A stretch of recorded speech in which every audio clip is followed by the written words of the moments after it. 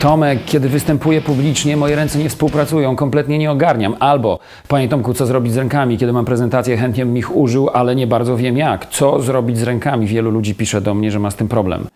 Do dzisiaj, bo dziś go rozwiążemy. Raz, a porządnie. Zaczynamy Camel Channel. Ilekroć moi kursanci pytają mnie, co zrobić z rękami, zawsze im mówię, naprawdę róbcie co chcecie. Jeżeli lubicie machać szeroko, bardzo proszę. Jeżeli trochę węziej, też. Jeżeli od czasu do czasu lubicie schować ręce za siebie, choć tego nie lubię, też mówię, zróbcie to. Jeżeli bardzo mało nimi machacie, w porządku. Ale do momentu, w którym w czasie wystąpienia poczujecie, że zaczyna się robić niekomfortowo. Jeżeli y, zdarzy się taki stan, wtedy musicie się ratować. A jest jeden, najlepszy sposób, który zapewni Wam komfort i pozbawi Was dylematów typu, co ja mam teraz z tymi rękami zrobić, bo nie bardzo wiem. Ten sposób nazywa się baza. Chodźcie ze mną, wylądujemy właśnie tam, w bazie. Halo? Halo? To baza, odbiór. Zapraszam Was do bazy. Moi drodzy, żeby ją zlokalizować, zaczynamy od pępka. Uwaga, ja mam tutaj, zakładam, że Wy też w tych okolicach. Na wysokości pępka ląduje niczym siekierka lewa dłoń. Jest sobie tutaj. Teraz przypomina tackę. Na tej tacce nie wiadomo skąd nagle ląduje druga dłoń, niczym naleśnik, bo musi być naprawdę luźna. O, w ten sposób.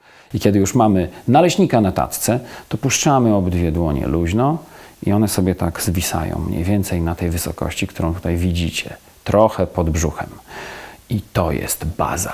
Jeżeli będziecie machać rękami w czasie wystąpienia i poczujecie, że pojawiła się niewygoda, wracajcie tutaj. To jest bardzo bezpieczna, bardzo dobra pozycja, w której można trwać, póki znowu nie poczujecie się pewnie. Wtedy będziecie znowu machać, demonstrować, strukturyzować. A jak zdarzy się, że trzeba będzie chwilę odpocząć, hop i wracamy do bazy. Od i cała tajemnica. Słuchajcie, ludzie mi czasem mówią, że ta pozycja z bazą jest do bani, bo ona źle wygląda i powoduje dyskomfort. No to zróbcie sobie zdjęcie i zobaczcie, jak źle wyglądacie. Czy bardziej podoba się Wam tak, czy może tak, czy może tak. Ja zdecydowanie jestem za tym.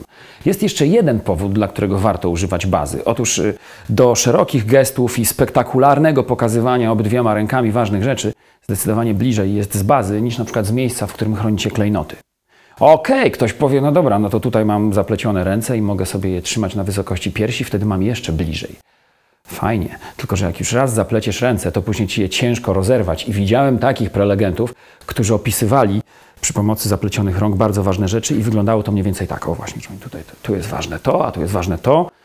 I splot był tak wielki i ciężki i mocny, że nijak nie było się, y, nie dawało się go rozplątać. No więc okej, okay.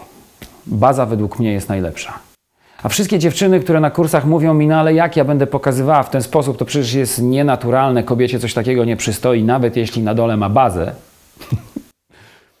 Niech przyjrzą się tym paniom.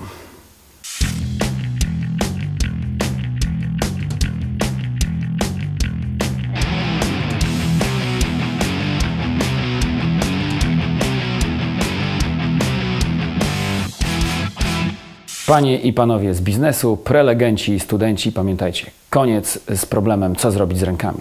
Jedyne o czym musicie pamiętać to ręce do bazy, baza do rąk. A teraz rozwiązanie konkursu i nagroda. Dla kogo? Posłuchajcie. W konkursie miał wygrać ten, kto przyśle mi najlepszą, najśmieszniejszą wpadkę, którą zaliczył podczas początku wystąpienia. Wygrywa Kamil Lewicki, chociaż rzeczywiście konkurencji miał wielką za wszystkie informacje i listy i historie. Bardzo Wam dziękuję. Kamil pojechał w tę stronę.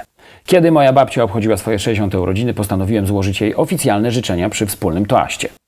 Tak się akurat złożyło, że był to okres adwentu, więc udzielałem się na mszach jako ministrant i po głowie chodziły mi głównie różne modlitwy.